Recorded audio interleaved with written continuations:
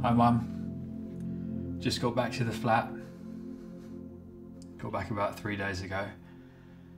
Been kept in base. I hope you're feeling okay and they're, and they're looking after you. I'm looking forward to seeing you. It's um, it's good to be home. Thinking of seeing Jen later. Well, I'll see you tomorrow. Love ya.